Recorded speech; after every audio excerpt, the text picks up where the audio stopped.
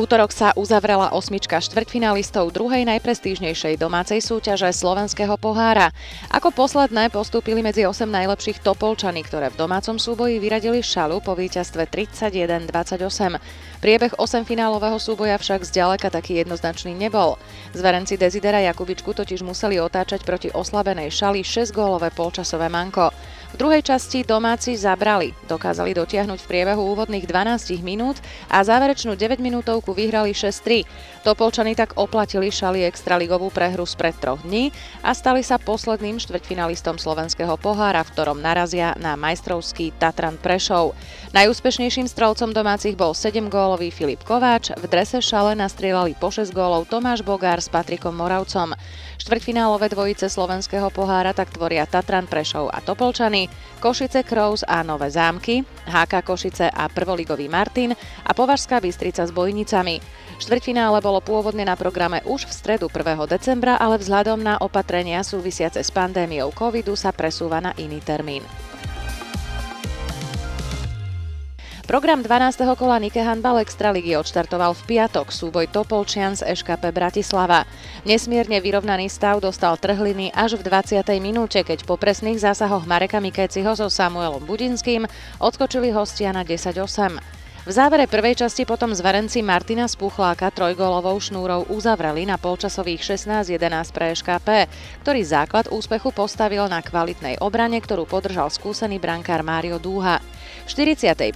minúte už Bratislavčania viedli po trojgólovej sérii 21-13 a kontrolovali priebeh, pričom Topolčanci napriek náporu, ktorý dokázali vytvoriť, stroskotávali v koncovke, a to aj z vyložených šancí.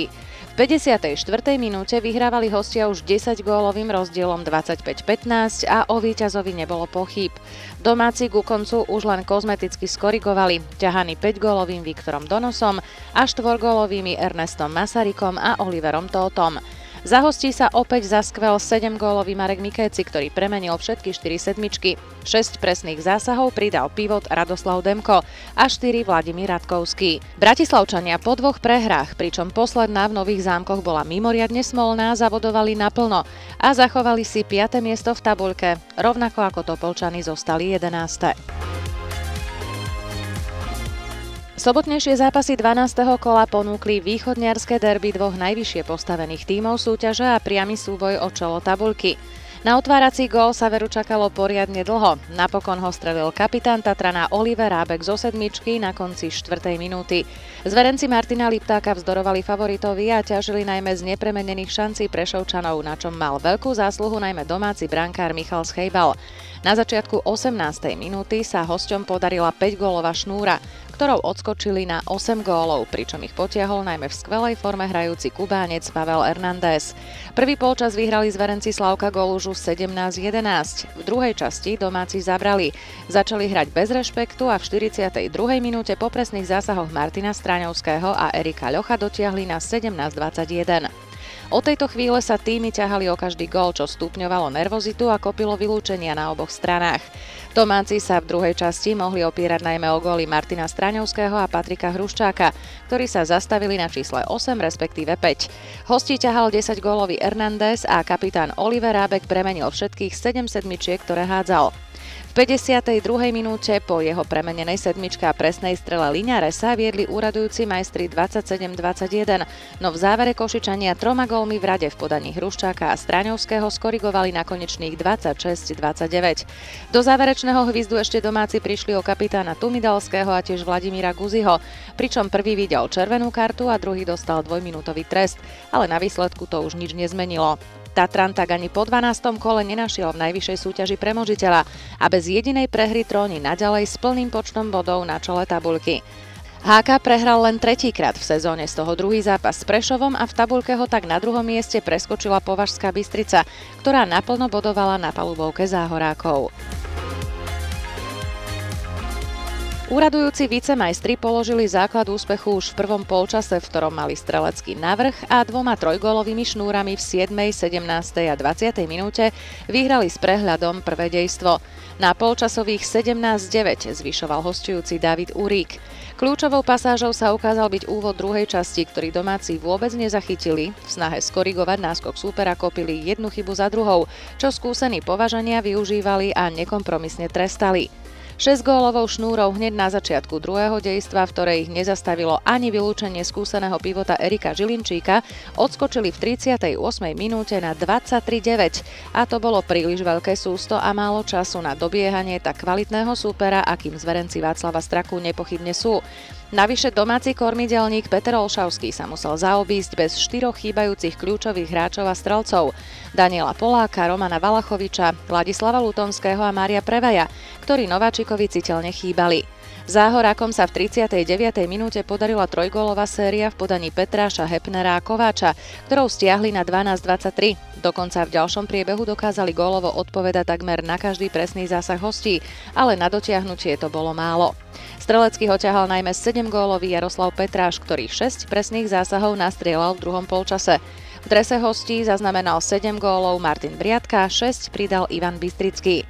Nováčik tak prehral aj svoj 12. zápas v najvyššej súťaži a naďalej uzatvára tabuľku. Naopak Považská Bystrica triumfom 33-20 v tabulke preskočila HK Košice a usadila sa na druhej priečke.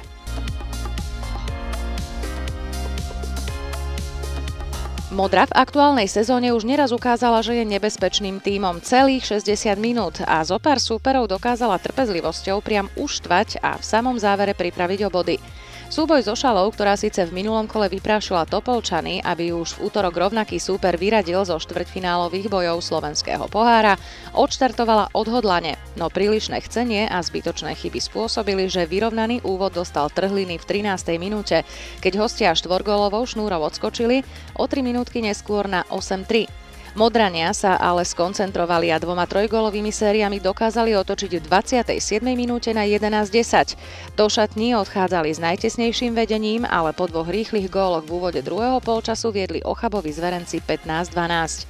Následne však skúsený Tomáš Čúr nepremenil sedmičku a zakrátko domáci prišli aj o vylúčeného Adama Čapku.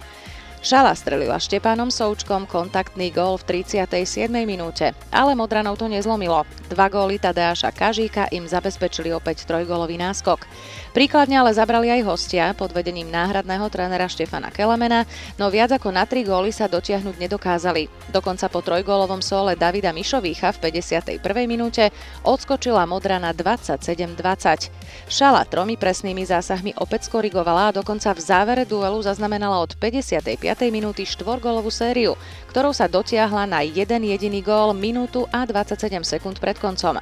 Dva body pre Modru ale zariadil Matúš Jurikovič, ktorý upravil na konečných 29-27. Najlepší strelec celého duelu 10 gólový Tomáš Čur sa po tomto zápase vyšvihol na čelo tabulky extraligových kanonierov. 7 gólov pridal David Mišových. V šalianskom drese sa za skvelý autor 7 gólov Štepan Souček a 6 gólový Tomáš Bogár. Modranom patrí v tabuľke 7 priečka, Šala je 9.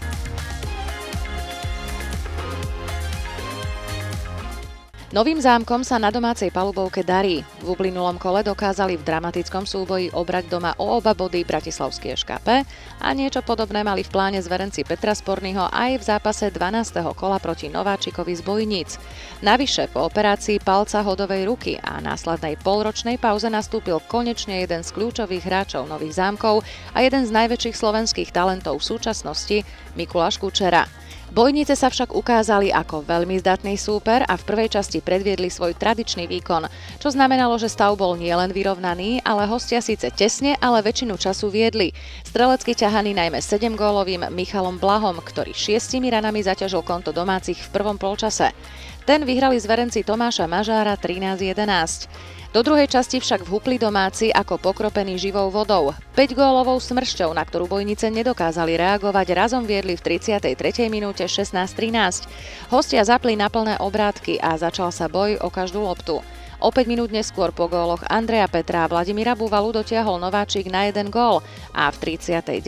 minúte dokonca Martin Ďurajka vyrovnal stav na 17-17 za výdatnej pomoci skvelého Lučka Fabiána v bráne hostí. Vyrovnaný stav sa ťahal niekoľko minút, no zámčania si postupne vytvárali náskok. Zväčša len nenápadný dvojgólový, no v záverečných 6 minútach bojniciam vyschol pušný prach, zatiaľ čo domáci dostávali krídla a svojho súpera v závere k ničomu nepustili. Súboj vyhrali presvedčivo 28-22, pričom najviac 9 gólov zaznamenala ukrajinská posila domácich Ivan Timoščuk. 5 pridal Mikuláš Kučera. Bojničanov ťahali tradičné opory, 7-gólový Michal Blaho s 5-gólovým Vladimírom Buvalom. Nové zámky tak zaknihovali druhé víťazstvo v rade a v tabulke zostali na 6. mieste. Bojniciam patrí 10. priečka.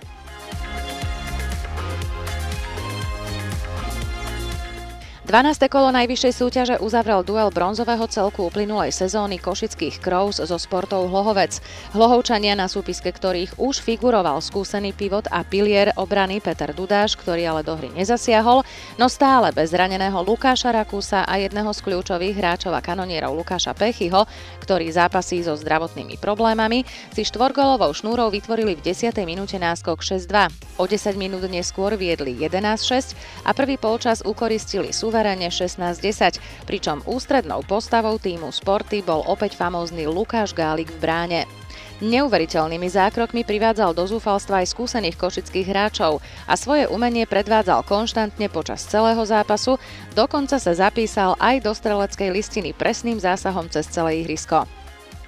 Vrany nedokázali premieňať ani vyložené šance, čo hosťom pomáhalo zvelaďovať náskok. V druhom polčase dokonca chytil Romanovi Pechovi dve sedmičky. Crows zabrali v obrane a po sérii štyroch presných zásahov v rade dotiahli v 39. minúte na 16-18. Zdalo sa, že z najhoršieho sú vonku, ale mladý tým sporty pod vedením skúsených Melnika s Holdošom ťahal neúnavne za víťazstvom. 4 góly v rade znamenali, že Sporta v 48. minúte odskočila na 25-17 a priebeh mala vo svojich rukách. 7 minút pred koncom sa zo zákroku skúseného Michala Capíka na prenikajúceho Jakuba Antalu vyklula napokon Oscarová kaskadérska scéna. Spomalený záber ukázal, že Hlohovčan zákrok prifilmoval, čo Capíka rozúrilo. Zdvihla sa vlna emócií na oboch stranách, po ktorej obaja aktéry dostali okrem červenej aj modrú kartu a budú mať čo vysvetľovať disciplinárnej komisii. Vo veľkej pohode hrajúci Hlohovčania zdolali Crows 32-24 a patrí im naďalej štvrtá priečka tabuľky. Vrany sa posunuli po druhej prehre na 8. miesto. Najlepším strelcom domácich bol 6-gólový Roman Pecha, Hlohovec potiahli 8-gólový Melnik s autorom 7 gólov, jedným z najlepších hráčov sporty v zápase iba 20-ročným pivotom Adamom Antalom.